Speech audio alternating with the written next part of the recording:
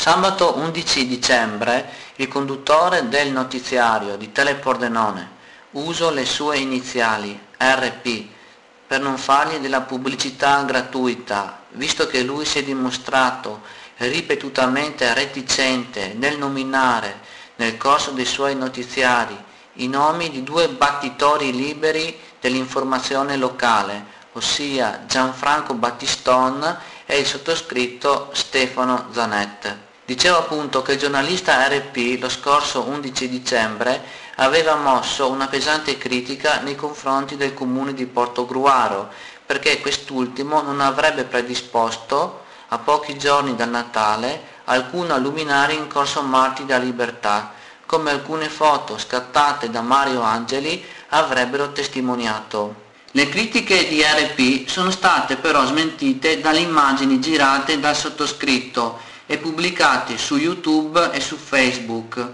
dove si era subito levato un coro di indignazione e protesta verso le parole usate dal giornalista RP per descrivere le luminarie a Portogruaro.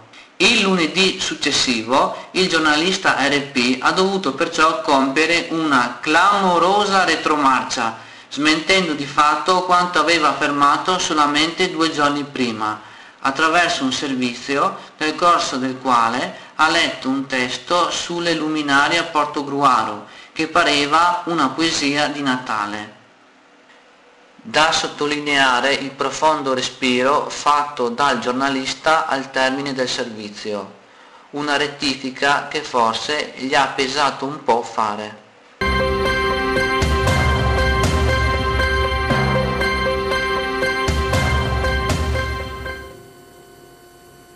Gentili telespettatori, bentrovati dalla redazione di TPN Veneto. E adesso un servizio sulle luminarie a Portogruaro, immagini girate questo pomeriggio. Luminarie, luminarie, quanto sono belle, quanto sono sobrie. Le luminarie a Portogruaro sono all'insegna della sobrietà. Lo hanno ribadito anche questa mattina. In Corso Martiri le luminarie finalmente ci sono, per fortuna. Sono state predisposti gli addobbi attorno ai piccoli pini che si trovano di fronte alla scuola e ai pini sistemati lungo gli archi dei portici, una novità assoluta rispetto ai Natali precedenti. Luminarie da paesaggio fiabesco invece lungo i mulini del fiume Lemene, nel posto forse più romantico di Portogruaro Molti hanno collaborato per la spesa delle luminarie, alcuni invece no, creando un comprensibile malumore, ma tant'è, è giusto andare avanti, anche perché non serviva poi sborsare così tanti soldi, ma le luminarie ci sono anche quest'anno, per fortuna che è Natale, per fortuna che comunque un gruzzoletto si è riusciti a tirare su. Anche a Portogruaro, con Piazza della Repubblica, che è salotto buono della città, illuminerà l'albero facendo grande attenzione ai temi dell'ambiente.